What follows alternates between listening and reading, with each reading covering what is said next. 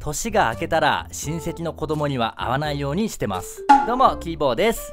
お年玉のあのシステム。もうやめにしないか。1年に1回会うか会わないかの子供たちなんてもう俺のこと金にしか見えてない。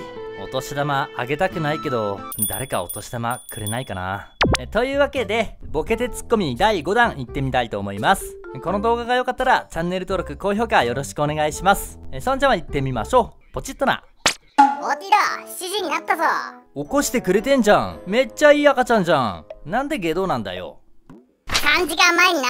この下道。久しぶりにこの子見たけどいい顔してんな。あ、あの、これ、お土産のアイスクリームです。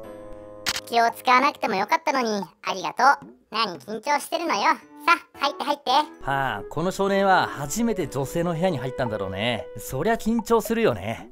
僕は女性の部屋にドアから入ったのは初めてだ。おまわりさんここに今すぐ逮捕しなきゃいけない男がいます。なんだこの絵は。天丼マンを思い出しながら男が爆笑してる。そろそろ死にそうなのに走馬灯がずっと面白い。走馬灯かよ。こいつの人生一体何だったんだ。嫌いな人がサウナに入る。ドアと窓をロックする。ちょいちょい。そんなことしたら死ぬって温度を500度にする。500度沸騰したお湯の5倍熱い。組長レベル35ゲームの広告でよく見るやつ。あれだけ見てるとなんか面白そうなんだよな。でも実際は全然違うゲームらしいよ。コクが深い。香りがいい。レジ通してない。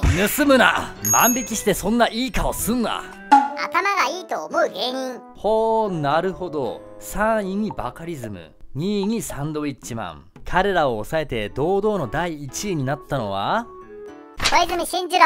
芸人ちゃう。政治家やで一応。まあ言ってることはいろいろと面白いけどね。私の車乗ってく？あこれは女性にドライブに誘われたシーンですかね。いいな。あ綺麗なお姉さんの車に乗って海とか行ってみたいもんだな地獄のドライブ。お前はもうマジで一生車の免許取んな。おぶっこみのタクの竹丸さん。なんかこの人最近よくボケてで見かけるようになりました。カルガモの一家が引っ越しすっから道塞いどけ。だからいいやつか。ボケての竹丸さんいい人すぎんだよ。夢をぶっ壊してください。大谷翔平は少年にサインボールを渡す時も165キロ。取れるかい？子供大怪我するわ。